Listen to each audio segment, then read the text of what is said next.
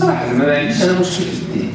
يعني قلتي واش المشكل هو في الفقه ولا غير تنبغيو نلصقوها في الفقهاء تلقاوهم حيث قصير تلصقوها فيهم. أما الإشكال في حقيقة الدين نفسه. أنا شخصيا بكل صراحة ما عنديش هذا الإشكال. علاش؟ لأن لقيت لقيت طريقة في نظري في التعامل مع كل هذه الإشكالات المطروحه في الساحة ويقال أن لها بعد ديني وغادي غادي نجي نجاوب عليها كيفاش شنو هذا المنطق. هذا لقيته ما السبب لي أي مشكل الامر لأنه باش كما كما قلت واعيد باش تقول أن هذا في قضايا مثل هذه أن هذا هو حكم الدين راه ما يقدر حتى واحد يقولها. راه جميع من غير القضايا المشتركة الكبرى المتفق عليها في العقائد والقيم والأخلاق والعبادات. داك الشيء الآخر كله مختلف فيه منذ قديم الزمن منذ بداية الإسلام وخلافات في أحكام اليوم.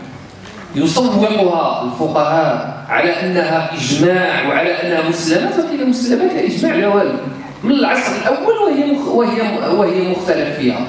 وهذا الاختلاف في نظري انه ظاهرة إيجابية ماشي ظاهره ماشي ظاهرة سلبيه وبالتالي لا إشكال فاش نشوف أن تصور الدين كما جاء في أحد الأسئلة شنو هو اذا التصور ديال الدين؟ لما نحط أنه الدين هو قيم وهو أخلاق وعبادات وعقائد ونحبس هنا فانتهى الاشكال انتهى المشكل كل ما يخص العلاقات الأفقية كل ما يخص العلاقات ما بين المجتمع كما تيقولوا بعض الناس علاش علاش علاش علاش ما نحيدوش الدين ولا تبقاو توفقوا لا ما تنوفقش أنا تنقول أن العلاقات الاجتماعية والعلاقات الأفقية وتنظيم المجتمع هو شأن دنيوي.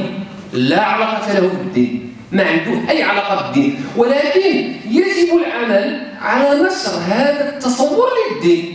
الناس تقتنع وتفهم فعلا بأنه العلاقات الأفقية وتنظيم العلاقة داخل المجتمع الدين بنفسه لا يقحم نفسه فيه.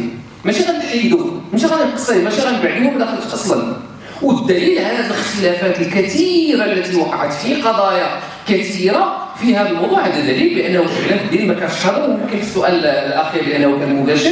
غادي نجاوب على غادي نجاوب على هذا على هذا الإشكال. قلتي؟ أين المشكل في أن شخص يلتزم؟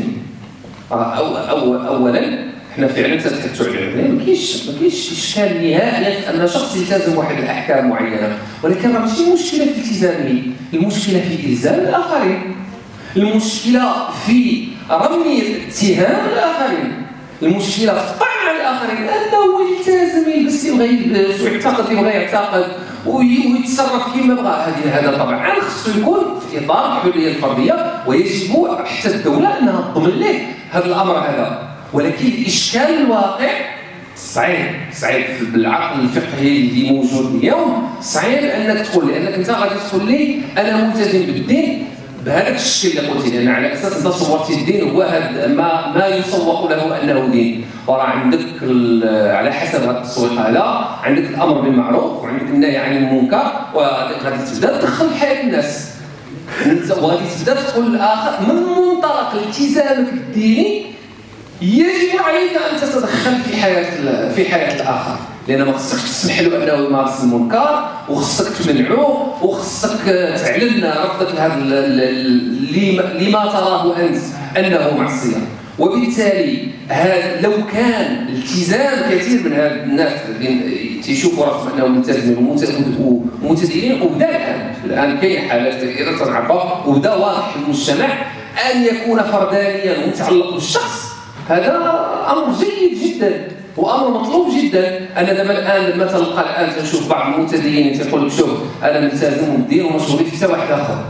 هذا تطور كبير داخل حقل الدين داخل هذا المجال هذا. أن متدين يخرج من قضية الأمر بالمعروف والنهي عن المنكر إلى انه يقول أنا الدين وما شغليش الناس الآخرين. هذا تطور كبير يجب تكميله ويجب العمل عليه.